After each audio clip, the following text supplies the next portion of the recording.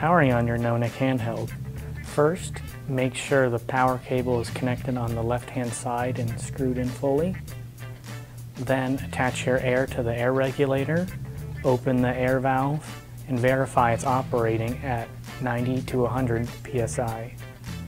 Then verify and connect your Fumex to the blue hose.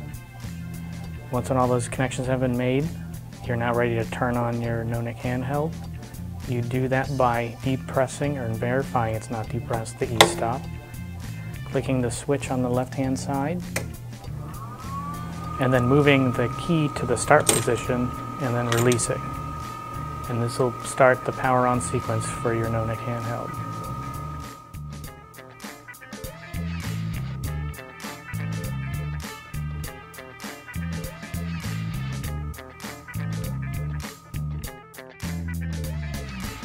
Now that you've powered on the system, you're now ready to use the software. First, try the default recipe on the NONIC handheld and see how that does for you. If it strips your wire, great. If it doesn't, you want to change the recipe. In order to do that, you want to click on the main menu, then Recipes, then New. That'll copy the loaded recipe and you can change laser power and that ranges from 1 to 100 laser frequency from 5 to 25 in 5 units of incre increments from 5, 10, 15, 20, so forth. Um, your start and stop spin, you want to keep at 1200 and don't change those. And then your strip passes, you want to ranges from 10 and goes up from there. You, uh, if it didn't cut your wire, you want to uh, change laser power or maybe add some more passes. If you're doing a multi-conductor wire, you might need to uh, decrease your power and increase your passes. Also changing frequency helps with different types of material, so you can also try that, but you'll have to uh, play around with your different settings until you find one that works for the wire that you have.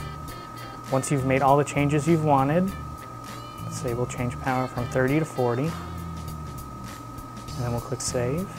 Now you can name your recipe. There is an eight character limit here and we'll just keep it as the default unknown. And we'll click Save. Now it's going to load this recipe, but however, if you want to go back to the default recipe, you can. You can click on it and then click the load button.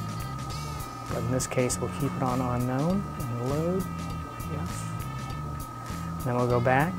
Now, here's some, this if you wanted to change your process right away without creating a new recipe, you can click on the process button However, we've already made our changes, so we won't be doing that, and we'll click cancel. And for power override, you don't you want to keep that at 100% and don't change that. And now we'll click the return, and that'll bring us back to the home screen here, and it'll take a second for it to update to go from the old recipe and load in the new one. Once when that happens, you're now ready to laze. And to do that, you have to go to the hand unit, insert your wire guide in your wire, click the part present button, and then the laser on button, and then that'll start the lasing process. You'll hear it complete, and you'll see on the screen it'll switch to idle to ready. However, the part present button will stay lit up until you physically depress it.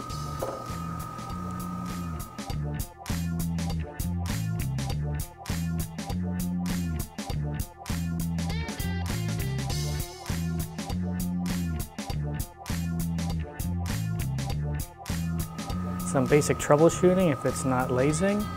First, you want to make sure you're on the home screen. So currently we're not, so we want to go back. Now we're on the home screen.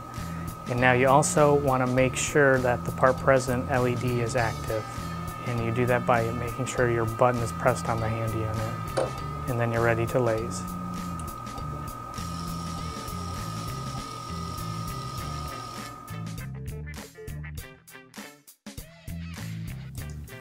To adjust strip length, insert the provided tool and adjust the set screw to the desired depth. We do have an optional tool with graduation marks to take the guesswork out of the strip length. The NONIC handheld shutdown procedure. First, you want to make sure you're on the software home screen and then click exit and then yes. This will close out the software and shut down Windows.